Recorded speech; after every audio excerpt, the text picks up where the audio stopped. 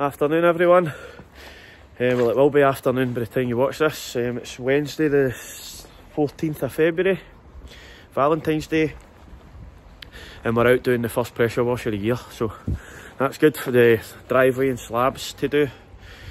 A gentleman contacted me last week. He's a property developer, and he's looking to get properties uh, pressure washed um, when he goes to sell them off. So he's, he's currently got this house up for sale but he just wants it pressure washed, uh, the driveway and the slabbed area. Um, so, good wee day's work. As I say, February, pressure washing season kind of starting back up. Uh, so, quite happy to get it done, uh, help the guy out, and hopefully I'll get more work from him. So, I'll just let you see what we're doing today. So, it's this slabbed area, full of weeds. Uh, so, we've got that to do full of white lichen. Get this area to do here, small slab area. and then this driveway. As I say, absolutely full of weeds. The guy's got it up for sale at the minute, so it's just a, a clean, get it on the market. Well, he's already got it on the market, but it'll help it sell quicker. People come to see it, so. But, good wee job, good wee start to the year for pressure washing. So we'll get set up. I've got the surface cleaner back out. First time it's been in the van this year. Ah, Our tank's filling up nicely. Float valves in action. The water pressure at this house is unbelievable. I say, 50 metres of hose back in the van. I took this out during the winter when we were doing gutters. But 50 metre hose reel and the old faithful pressure washer that's not let me down yet. So yeah, I'm in I'm in the process of looking at a new van at the minute, so yeah, I'm going to get a bigger van, Transit or a Vivaro, I'm not too sure, but that's my next investment. As I say, pressure washer's still still doing the job, so I'm not going to upgrade it just yet. My my concentration's on getting a bigger van. It's going to help me so much better and this just got an MOT so it's got another year's MOT on it pass no problem. Uh, but I need a bigger van because I'm going to be offering more services uh, this year so I need two vans on the road. But we're, we're good to go so I'm just going to get set up get ready to, to crack on with this. I'm going to start for the back but we're way out. Alright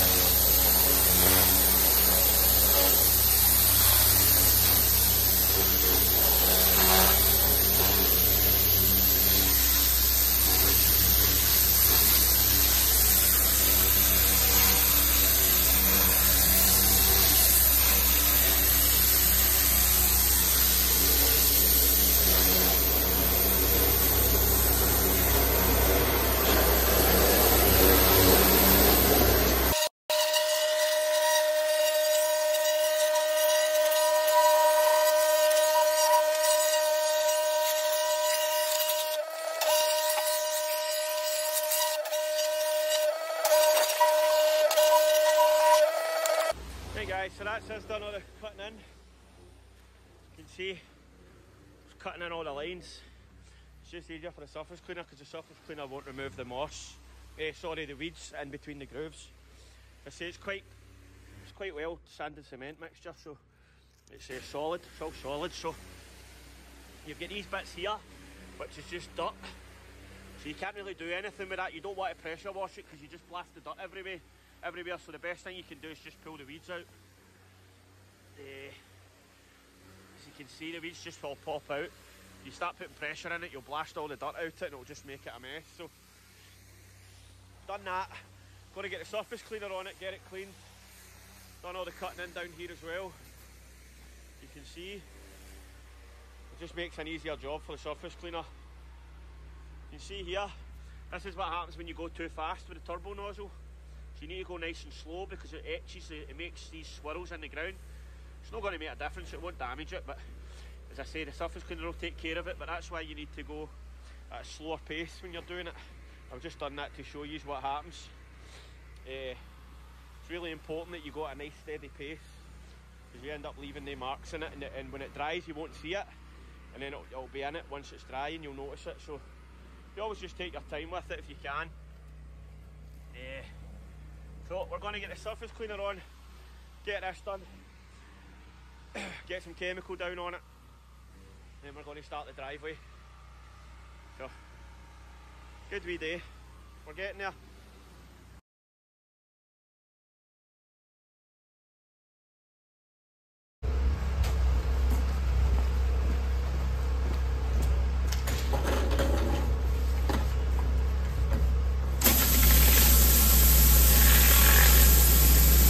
Well everyone, we just just had a massive scare there. Uh, after me saying this morning that my machine doesn't let me down, we were in the middle of the job and it kept kept cutting out every time I started it. It would run for like maybe 30 seconds and then cut out. So we were kind of panicking. We checked it all, uh, opened up the dipstick, checked the oil, and it had literally maybe 100 mil of oil in the, the system. So just shows you should always be checking these things. As, you never know. I've been running it pretty hard the last few weeks with roof cleans. So it's been going like eight hours constant for a while. It's obviously just burnt all the oil away, so I had to put a full litre of oil in it there. But luckily it's got an emergency cut off where it'll not damage the engine, so we got away with it. But it's always good to check these things because I've not checked that. I've, I've not put oil in that machine for like seven months. So that was from the day I got it, maybe eight months and I just checked it there. But I checked it last week and it was fine. I checked it there and it was uh, completely empty. So we got we got lucky but it's running fine now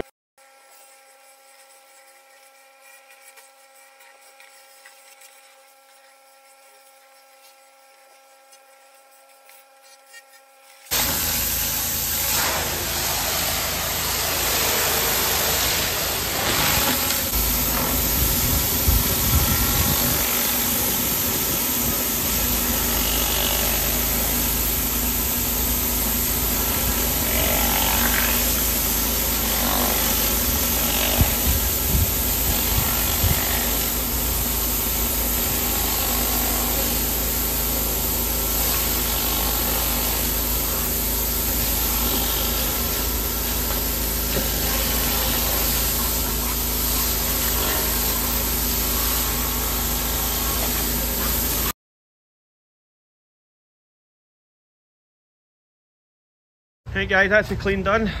Surface cleaner. So we just need to give it a good rinse though. These stones here, it's like a, the, the runoff was going right into them. It's, it's, just the way the angle of the, the slope. So we've put a tarp down to try and catch most of the, the mess. We'll just need to give it a good clean up when we're done. But as I say, you can't really notice it with slabs. Slabs are never the greatest to show cleaning, but as I say, they're, they're clean. We just need to rinse them now. We've opted against chemical. We were going to do chemical today, but I've spoke to the neighbour and uh, he's got pets and stuff. And uh, as I say, there's nobody living at this property at the minute, so dogs in and out. So we're going to just go against the chemical treatment. I've spoke to the homeowner. He's happy to just, just go without, as I say. A lesser price for them as well if I don't put any chemical down so uh, it's not ideal but as I say it needs must so. We'll get that done. Need to get this rinsed off once we're done. Give this all a rinse. Then we'll start the drive. My labourer is outside now. Try, he's lifting most of the weeds as he can. Just saves you a job with the nozzle. You can see he's pulled all this up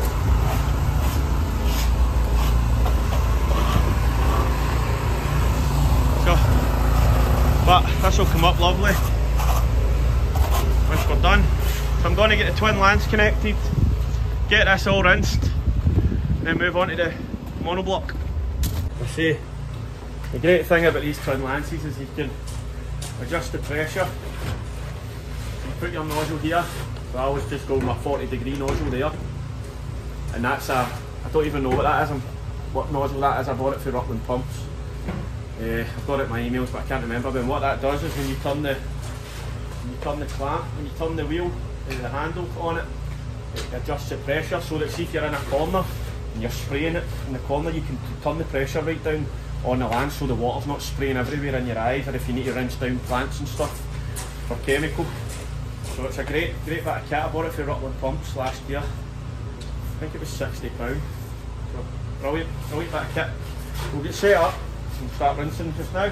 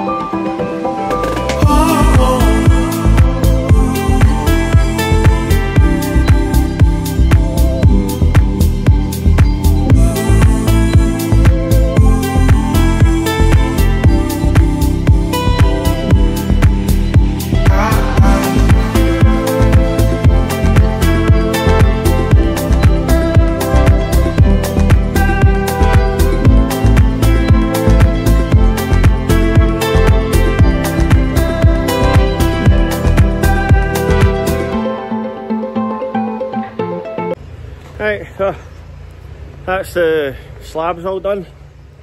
Slabs are washed. Um, we're just about to start the drive now.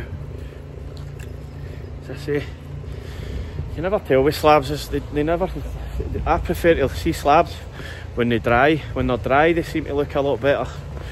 But when they're wet you never, you don't really notice the difference on them. You can see it but it's not, it's not a massive difference compared to when they dry right out and you can see that all the dust came off them. But I'll let you see where we are.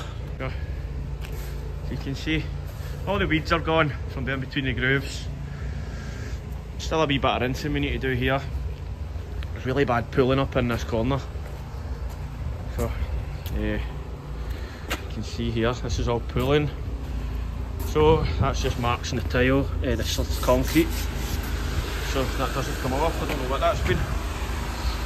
Uh, but it's a massive difference. So we're going to make a start with the, the monoblock now. Get that done. Kind of running behind here because I had to shoot away, grab oil, mess about with my machine, my machine for a while. So I'm just going to make a start with the, the monoblock.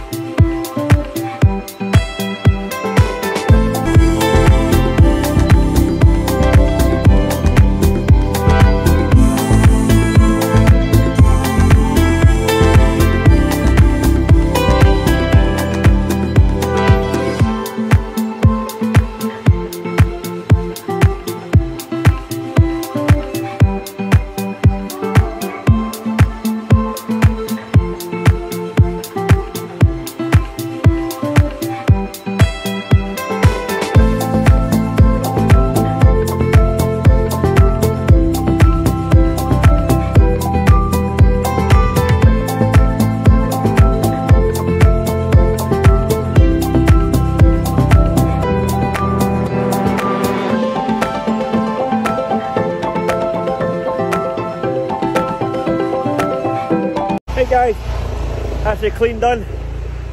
So you get it all rinsed. You can see, a lot of pulling. Awful lot of pulling, but it's clean.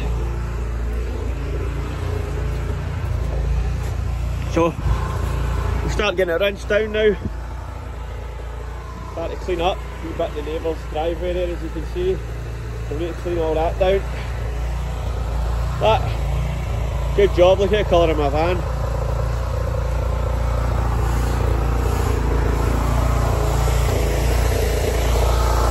That all needs rinsed down. So we'll get set up, get started with the rinse. Yeah, I bought a new turbo nozzle.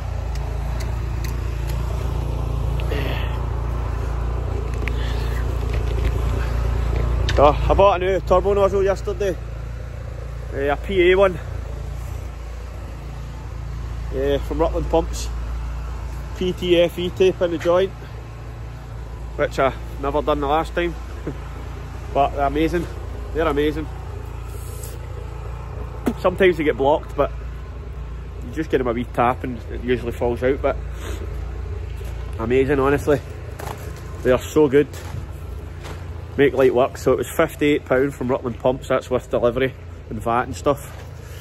Uh, that's me get three of them now, so it's good to always have them because you never know what could happen. So I'd always advise you to have like two or three in your van. We're going to set up, your rinse down, let you see at the end.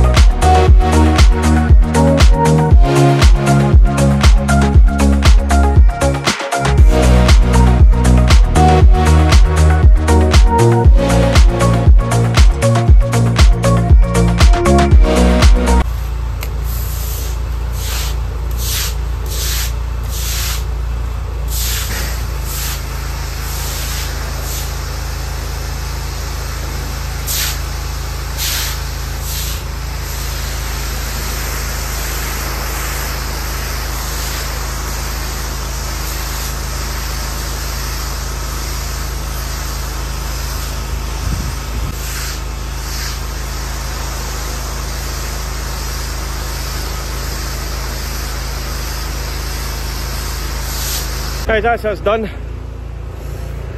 A lot of standing water on this driveway. As I say, I've been brushing it for ages, but sometimes you've just got to walk away. You'll be there for hours. So, I'll show you the back slabs. As I say, slabs are really underwhelming. You can't really tell what they look like until they're dry. but it's all done. Uh, all clear, no issues, which is good. See here, no issues. Just went really well. And then the driveway, again, look at the standing water. Just does your head in. I've, I've been brushing it and brushing it and brushing it and brushing it. It just keeps happening. So I'll give it one final brush before we get our before and after photos because it will look a lot better. But more than happy with that guys. So, as I say, I had a bit of a scare today with my, with my machine. So you always need to check it for oil. So that was my stupid fault. I could have had a, a, a real issue there. Luckily the machines have got a, a kill switch inside them that, that stops the machine from, from running basically. So every time I was pulling the, the cord to start it, it would run for like 30 seconds, then cut out, run for 30 seconds, cut out. So I checked everything, checked all my hoses, checked my carburetor, make sure there was fuel getting in. And then we noticed it, I took the oil off and looked inside and it was basically bone dry. So you really need to, the machines are great, as I say that Hyundai 4200 I've got it's a great machine, as I say. See now that I've found parts for it, honestly, it's an unbelievable machine. It's never let me down. As I say, most of, um, that machine could have seized up there and it never a wee bit of oil in it, put a litre of oil in it and it's worked again. That's been an hour and a half it's been running. Uh, as I say, amazing machine for £900, 15 litres a minute, can't grumble. So I'm going to keep using it now.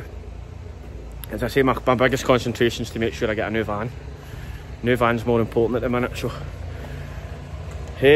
I've got a new air filter coming for the, the machine tomorrow yes I'll get that put on it and then that machine that's basically everything replaced in that machine spark plugs new exhaust new air filters new carburetor so basically a lot a lot of stuff the only things that haven't been replaced is the actual engine itself or the the pump which are still working fine but if you're ever looking for any parts for Hyundai machines go to powerspares.co.uk and you'll get genuine parts for your machine.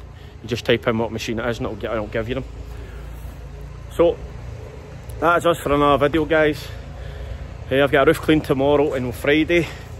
So you'll, you'll see this video on Friday, which will be Friday the 16th, it'll be out. And then I'll put the roof clean video out next week. So, hope you all have a good day. And if you could like and subscribe to the channel, it really does help me. Thanks guys.